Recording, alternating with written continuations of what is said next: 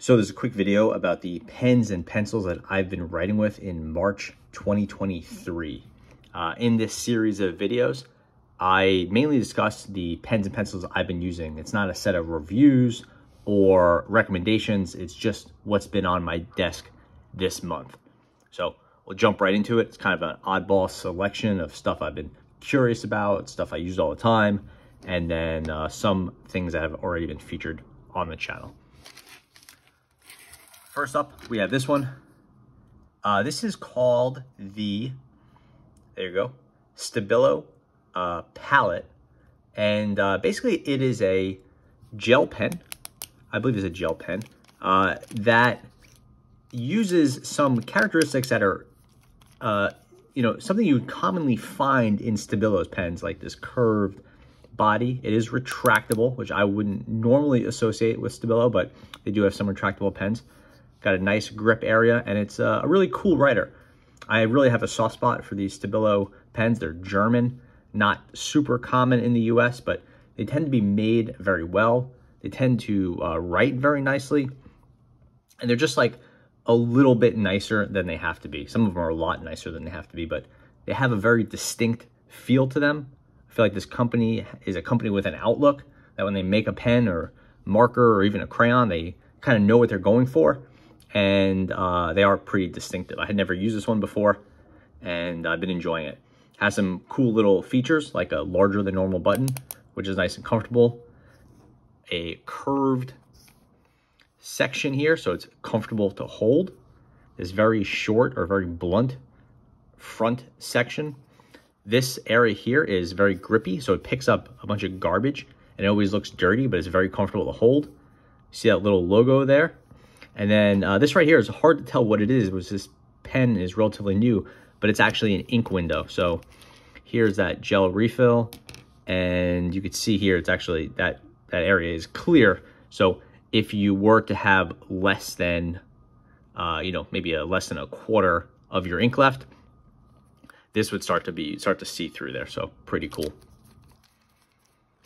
do writing samples at the end, but uh, this is the Stabilo palette and it's pretty easy to find. It is in the, they call it a 0.4 millimeter, but that's because some companies measure the writing differently. This would be like uh, 0.4 millimeters, like the size of the, the ball as opposed to the size of the line. Uh, it's a little confusing, but it writes like a 0.7 millimeter in a more, uh, more conventional measurement. Next up, we have this. This is a very old school roller ball. It's called the Uniball Deluxe Fine. The like the name is the deluxe. It's in the fine width. And this is like a uniball. This is like a uniball uh, capped rollerball design from the 90s, maybe the 80s. Hard to say, but I feel like if you looked at rollerballs like 20 years ago, this would be a fairly common design before like the vision and other things like that started coming out. And uh, this is just kind of what they look like. It's kind of boring, has this kind of gold platinum color. And I've been using this. It's okay, you know, like it's it's fine. It's not really remarkable. It's why I've been using this for a few weeks now, probably a few months actually. And I don't have too much to say about them. They're just like, yeah, it's a pen. It writes. It has super ink. Uh, that's what they call it. I don't think the ink is actually super, uh, but it's totally fine. And it's a nice throwback but you know, it's not it's not super comfortable. There's not really any grippy areas. There's not much of uh, thought behind like uh, a human hand is going to be using this. It's just like a straight barrel. Like the cap doesn't come off that well. The click on is not great. You know, it's a fine it's a fine pen, but it kind of reminds me of kind of all the progress that's been made over the years. And uh, it's a good writer if you want an old school rollerball, but if you kind of remove the historic or uh, nostalgic aspects to it, I think we could agree that like things have moved past the uh, the deluxe, and uh, there there are better rollerballs sold today, and even more than that, the uh, industry has moved largely to the gel pens, which I think are largely an improvement over the uh, old school rollerballs. This is a pen I've talked about a few times before, so I won't dwell on it. This is the uh, Ballograf Epoca, This is the uh, P, I guess it's technically called. This is the luxury version, which means it has a standard section here, but a metal top area. And I've actually put a Schmidt EasyFlow 9000 B in here. Not many of these left, and my last few ones are, are kind of dying. Uh, so they don't have a very long shelf life, but I like the EasyFlow 9000. I think opinions have changed on the EasyFlow 9000 a lot. I think a lot of people really like them. And over the past couple years, people have gotten a little bit fed up with their inconsistency and their lack of reliability. I still have a soft spot for them. And uh, if you flip this top or cut it down, depending on how you want to do it, with a normal Ballograf refill, you can get that refill in here. And it's just a really, I think this is like one of the best looking pens ever made. Like just like flat out, great, great looking pen. Quite comfortable, has a fun click to it, which I didn't ruin when I changed the refill. And uh, again, I, I, really do like the ball, uh, sorry, the uh, the easy flows when they're writing. So we'll do a writing sample in a minute, and we'll see how this one's going lately. Maybe uh, I think it's on the way out, but it is a very enjoyable writer. Uh, this is a Schneider Slider Memo XB. So Schneider makes a bunch of, uh, again, another German company, has this nice curved body to it. It's rubberized here, hard plastic here. And Schneider makes a bunch of very nice traditional ballpoint refills. The XB is their extra broad, extra bold, whatever. And uh, it's a really, you could see, it's a quite thick ballpoint refill. It's a great writer. This is similar to the Schneider, I believe it's a 755 XB refill, which is their Parker style refill. And this is just the uh, that refill, or that ink, I guess technically, with that wide tip, put in a capped or stick style pen. It's quite comfortable, pretty easy to find. And I had used many pens like this, but I had never specifically used the slider memo.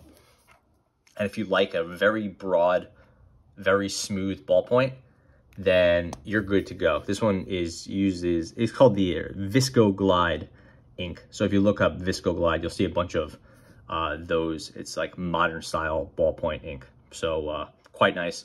I don't think like you have to look for the Slido me slider memo specifically. Anything in there, uh, XB, so like a 755 XB or whatever, will be that sort of pen. I think it's a cool looking pen. Again, not one that's very common in the US and quite comfortable to hold and it lasts a very long time. This one is not refillable. I think it's fixed at both ends. I haven't been able to get it open. I haven't honestly tried that hard. Uh, it's quite reliable, but again, not refillable, so a little bit disappointing. But you can refill some of these slider pens if you shop around. I did a full video on this one, so I won't talk about it so much. This is the Pentel Orenz AT, and this is the dual grip Pentel Orenz. I think uh, basically the summary of my video review was that I really like the Orenz series. If you want an automatic pencil, so uh, it's like when the lead kind of goes out on its own, then I think the Pentel Orenz Nero is the way to go, pretty much full stop. Pentel, when they released a new Orenz called this, the uh, AT, I was curious, so I bought one, and it's not as good as the Orenz Nero. It's not made as well. I don't like the grip as much, even though the grip looks cool. Uh, Pentel has other dual grip pens like the Graph Gear 1000, which is one of their most famous pens, maybe pencils. I keep saying pens. It's one of their most famous pencils and definitely the most famous dual grip pencil. Uh, so this sort of echoes that, which I would say from a like a creation move makes a lot of sense. Pentel's like they're doing smart stuff. I just don't think, think the execution is that great. It's not as good looking as the Orenz Nero and the internals have been downgraded. There's a lot more plastic parts and uh, it just doesn't feel as good in your hand. So interesting release, but stick with the Orenz Nero if you're looking for a great 20 to $25, maybe like $25, $26 mechanical pencil. The AT is, you know, pretty cool, but not my pick. on the channel, I've talked many, many times about my love for very broad gel pens and the uh, Pilot V10 is uh, one of my favorites. Usually I use a Hi-Tecpoint V10. Uh, the I believe the Hi-Tecpoint is only sold in Japan or maybe just Japan and Europe and the precise is the US model. It's hard to distinguish exactly that, but this is the Pilot Precise V10. So it's a 1.0 millimeter refill RT, which means it's retractable. Uh, this is also a subvariant of the Pilot Precise in that it is the grip model. Not all of them have a grip. So uh, you have your Hi-Tecpoints, which are refillable with a uh, with a cartridge. This is a rollerball. This is a gel refill. So it's not quite a Hi-Tecpoint, but you do have your V10, so 1.0 millimeter, grip, RT, so retractable, and needle point. So it's like if you really, really want to split hairs with the different types of gel pens, then uh, this one really checks a lot of boxes for me. Uh, I, I like the pen a lot. I love the V10s. I love the Precise series, so on and so forth. This one has a skinny button that like kind of hurts a little bit every time you press it, uh, but it makes up for it with a really nice clip and of course the grip. It's a very broad, very wet writer and uh, a lot of fun to use. This one, uh, clearly I'm kind of on kind of an old school kick here. This is a Pentel rolling writer, and this is sort of like a very old school sort of marker style rollerball. I'm not even sure what you would call it with this uh, with this old school tip on it. There is it does have a ball. It writes like a marker kind of because it's this plastic on plastic tip here. See how close we can get to that. And uh, sort of writes like a marker, which it's soft like a marker, but it has the mechanics of a ballpoint, a rollerball, whatever you want to call it. And I believe on the inside is a big wick, sort of like a rollerball or kind of like a marker too. So it writes like a sign pen, uh, like a, a, you know one of the famous Japanese sign pens, but the uh, it's a little bit different, I guess. I don't know. It's basically a sign pen. It's called a rolling writer. It's fun to use. Has a very old school feel to it, and uh, has a sort of wet writing. This one I won't save for the end.